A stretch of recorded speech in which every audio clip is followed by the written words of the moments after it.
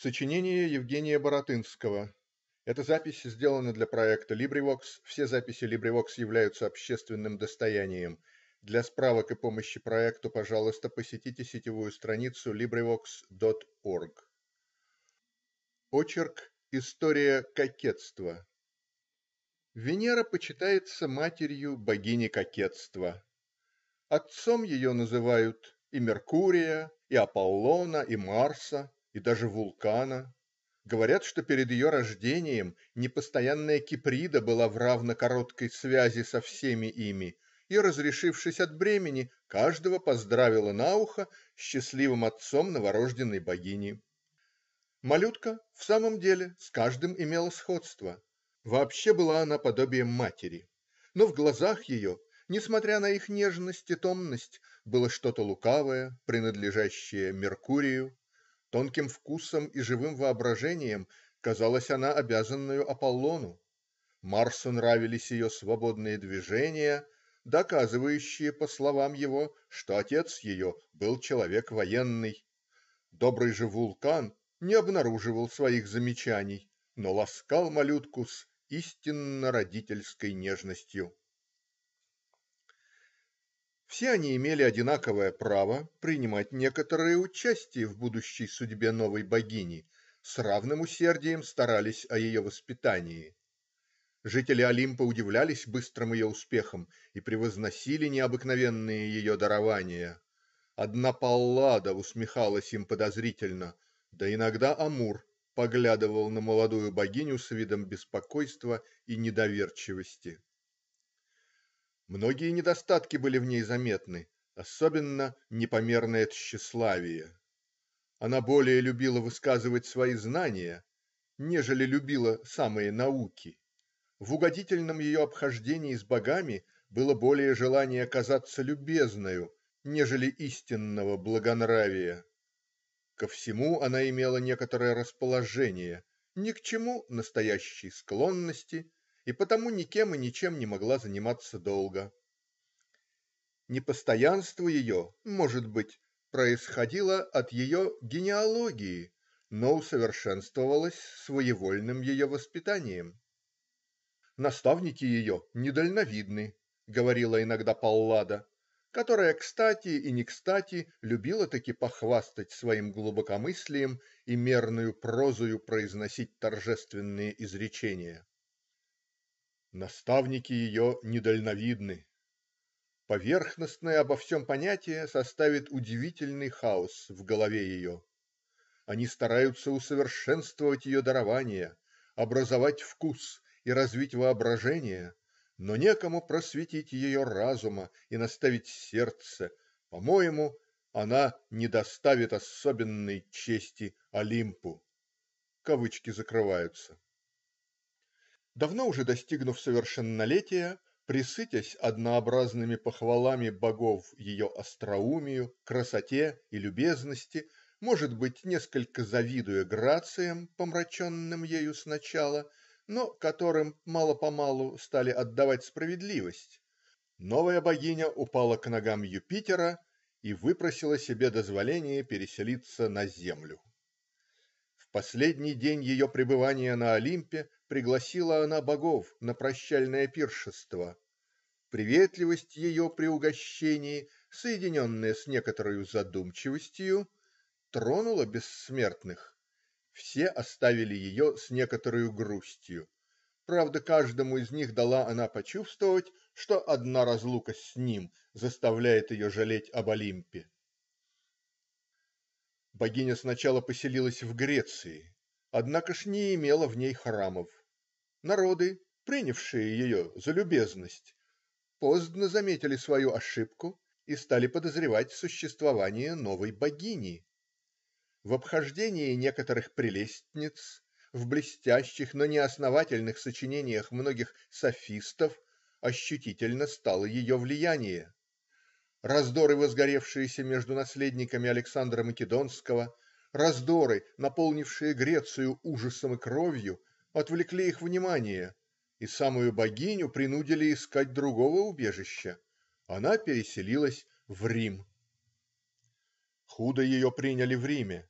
Изнеженность ее нрава и слишком вольное обращение не полюбилось строгим республиканцам. При триумвирах было ей лучше, но немногим. Буйный разврат столько же противоречил ее свойству, сколько чрезмерно строгие обычаи. Дикие племена, завоевавшие Рим, изгнали ее из всей столицы вселенной. Здесь история ее становится темною. Иные говорят, что до самого ее возвращения в Европу странствовала она по Азии и Африке, другие, что она провела это время в уединении, придумывая способы для будущего своего величия. Как бы то ни было, но в XVIII веке торжественно явилась она в Италии и во Франции с молодою прелестною дочерью, не уступающую своей матери в непостоянстве, своенравии и проворстве. Дочь сия была Мода. Подобно Юпитеру, отцу Паллады, богиня зачала ее в голове своей и также счастливо разрешилась от бремени. Народы приняли ее с восторгом. Воздвиглися храмы и воскурились жертвы. Обрадованная усердием галлов, богиня основала свое пребывание между ними. На берегах Сены, посреди великолепного сада, возвышается столичный храм ее. Витые золотые колонны поддерживают его купол.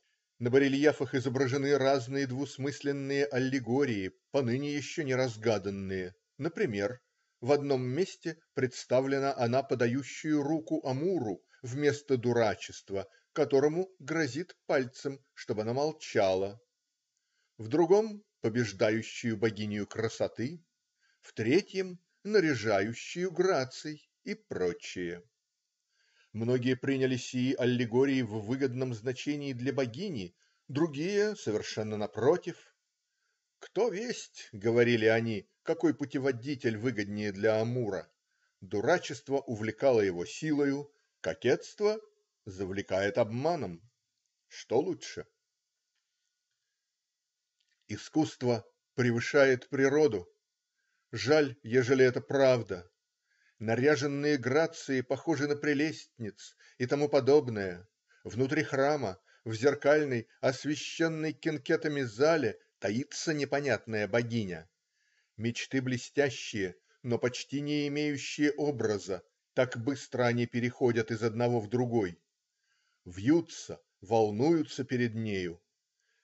Мусикийские орудия, отличительные знаки всех искусств, разные игрушки, выдуманные прихотью, небрежно около ее разбросаны. Тут-то проводит она время, примеряя наряды, вымышленные ее дочерью, и приучая лицо свое к разного рода выражениям. В известные дни принимает она своих обожателей и издает свои прорицания. Ласковость ее обхождения привлекает каждого. Разнообразные дарования, полученные ею от олимпийских ее наставников, заслужили ей уважение людей всякого состояния, всяких понятий, всякого нрава. Даже два великие, хотя разнородные гении последнего времени Фридрих III и Вольтер не пренебрегали ее советами. Не говоря уж о женщинах. Кокетство можно назвать политикою прекрасного пола. По происшествии некоторого времени богиня заметила, однако ж, разительное охлаждение в мужской половине своих поклонников. Ужас объял ее сердце, но ум ее, богатый вымыслами, скоро внушил ей способ оживить их усердие. Она удвоила свою приветливость, даже казалась нежною наедине со многими.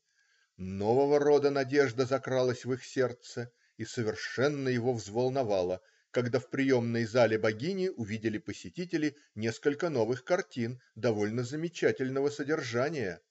На них изображены были некоторые приключения жителей Олимпа, где они являлись довольно благосклонными к бедным смертным. Диана, посещающая Эндимиона, Киприда, ласкающая Адониса и прочие. Внизу надписано было: "Для любви не существует разницы между смертными и богами". Хитрость сия удалась богине. Охлажденные поклонники превратились в пламенных искателей. и хотя никому еще не сдержала она нежного своего обещания, но все надеются, что она сдержит его некогда, и храм ее никогда не бывает празден. Ученый-антикварий, собравший материалы для сей достоверной истории, собрал их прежде французской революции и, сделавшись жертвою ее, не мог продолжать занимательного труда своего. Если верить слухам, то ужас и возмущение сильно и благодетельно подействовали на сердце богини. Говорят, что она отреклась от божества своего и даже сама сделалась набожною. Живет уединенно, читает полезные книги и вздыхает о прежних своих заблуждениях. Время покажет, справедливы ли сии слухи и чистосердечно ли ее обращение. Конец очерка "История кокетства", читал Марк Чульский, Массачусетс, Соединенные Штаты Америки.